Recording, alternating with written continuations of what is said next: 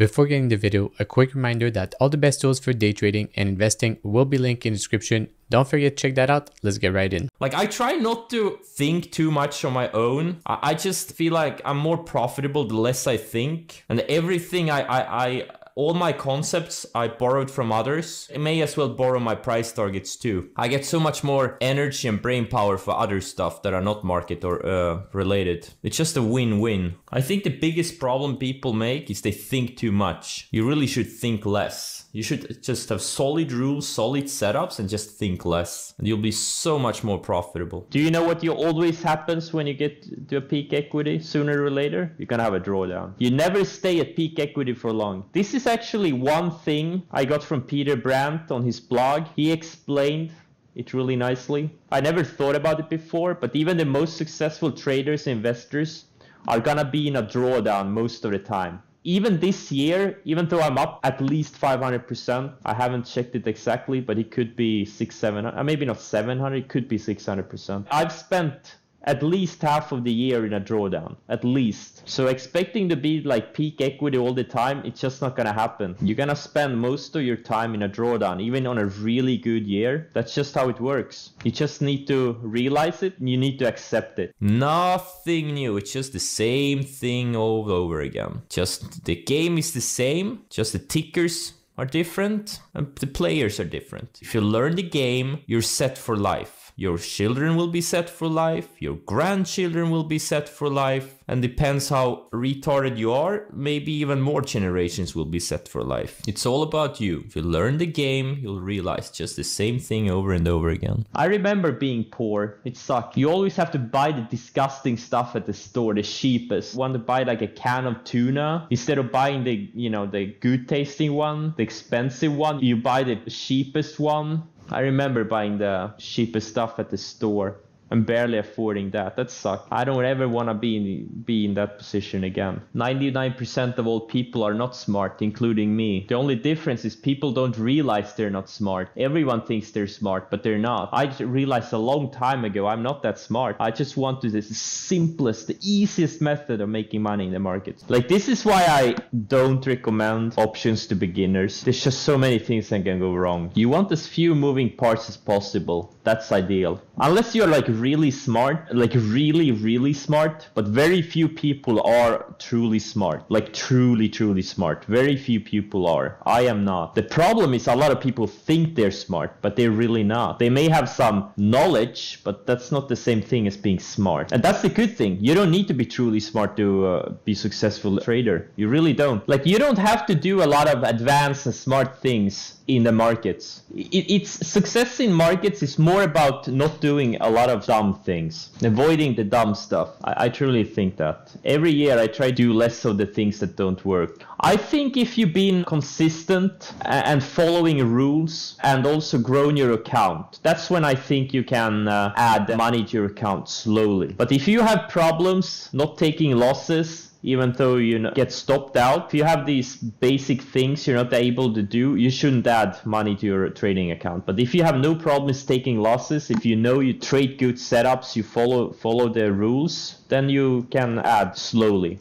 Maybe not uh, all the 30k at once, but you know what, maybe 5,000 a month or something, as long as you're growing your account. And more, most importantly, just following the rules. Or you could choose to not add to your account, just let it grow organically. You double it, and then you double it again and then you double it again and in five years you're gonna have 10 million in your account. That's what happened to me. And then you're gonna have 20 and then 40 that's one of the things as a new trader when there are no good, good setups you lose your confidence. You start thinking well did i was i just lucky? Or am, am i ever gonna get a good trade again? I did this just to reinforce myself. Hey look good setups happens all the time. Sometimes it takes a few weeks or a few months but they always come back. And then i just you know took the charts I had in my database that I've been built over the past many years, just put it in a photo book and got it printed. It's kind of nice. Just a quick reminder that all the best tools for day trading and investing are linked in the description. Don't forget to check that out. Let's get back to the video. Yeah, shorting is always uh, difficult. Shorting is super difficult. I just decided instead of, you know, shorting breakdowns, which would have worked, there's been a lot of uh, breakdowns on a lot of stocks this year like picture perfect bear flag breakdowns, right? This is exactly like a flag, but it just turned upside down, right? The problem is when you start focusing on breakdowns, start making a lot of money on breakdowns, that's usually when the market turns around, you start getting long setups and you're not quick enough to adapt, and then vice versa again. It just fucks up your there and look for bearish setups. Once you become profitable, you're constantly profitable for many years. Like once you develop the conviction that you know the all the good set, like you know your setups, you know which setups work and not, and when they work, and then you just have the confidence and conviction that you know that these setups will keep repeating. Not every day, not every week, and some months you may get very few setups, but it's just gonna keep coming back. That has been like one of my worst issues during my trading career is that I always think like, oh, I'm never gonna get a good setup again. They always keep coming back. This is why I did this little project where I just mapped on the chart like the major index is like the best ones. These are pretty much the perfect ones. Then you get the ones that are not perfect but all still profitable. You get them all the time. You will miss some. You will some up, but some of these you will just nail. And you know, they just keep coming back. I, I, I hate complexity. I, I tried to learn the options, I just don't get them. I, I'm sorry, I just don't get them. It doesn't make any sense to me. When I had a smaller account, I day traded. I didn't have a portfolio approach. I was more concentrated when I had a smaller account. Like the more your account grows, the less risk you should take in my opinion. Like you shouldn't take the same amount of risk if you have a million dollar account versus if you have a ten thousand dollar account. Like a ten thousand bucks, like if, if it goes to shit, you can easily make it back, you know, save it up again. But if you have a million bucks and take too much risks, it goes to shit, you know, that's that's harder to recover from but I'm going for like big multiples of risk. Like every trade I take, like if I can't like realistically think I can make say 10 times my initial risk, I'm probably not gonna take the trade. And many of my swing longs, I can make 20, 30, 50 times my initial risk. Like a home run trade, let's just say something like what you need to do is have some really big home run trades and keep the losses small in the meanwhile. Obviously for day trading, you know, you can do it differently, but because the odds are get much better if there's news on on it, like Beyond Meat, like you know, when they break out with news, so higher probability because Beyond Meat went from something that looks just a random stock that goes up from a choppy range to a stock that has some pretty significant news and taking out a year-long range. No matter where you look at the market leaders, you can look at the market leaders in the 90s, 80s, 50s, 20s they move the same way. They they obey the same moving averages. Like the 10 20 50 200 like they worked for 100 years and they're probably going to work for another 100 years. What do i know? They just work. Number one thing with a news gapper is volume okay? And it should have a big volume out of the gate. Like in the first few minutes it should be obvious it has enormous volume. First thing is volume. The second thing is the overall chart okay is it coming out of a range? Is it a neglected stock or is, is it already up 100% in a week, right? And this one looks good. It's just taking out the year long range. That's a big one. Every question pretty much I answer with, because I'm not an alert service. I don't give a. I'm not here to scalp my followers. Everyone needs to, if you haven't done this yet, if you're struggling, if you're not getting the results you're not, you want, and then you start looking for, for patterns, okay? And you will see the exact same setups I trade, they happen over and over and over again. And you're probably going to find your own setup. You're, you're probably going to find at least three to five setups that occur over and over and over again. Three to five patterns, okay? You need to build a foundation. You can't just trade blindly, not knowing, you know, following some other trader, you know, being in these alert services. No, you need to develop your own expertise. You need to develop your own setups, things you believe in, things you have back tested that you know they work. It doesn't matter how much you hate the stock or a company, okay? If it if there's a good setup on it, like if there's a five star setup on it, you, you have to buy it. And the less money you be made in the markets, the more shit your opinion is. Like my opinion is shit. That's why I trade setups. Like I've been wrong on so many things and yet I've still made money on them because I trade the setup. Biotech stocks, especially like the micro and small cap biotechs, obviously, yeah, there is added risk of trading them. And if you're unsure, don't don't trade them. There's so many uh, good setups in non-biotechs. There's just you know, generally you should just avoid the small cap biotechs. You need to do you need to spend at least a thousand hours doing that study. Okay? You do it three hours per day, it's gonna take you a year. Okay?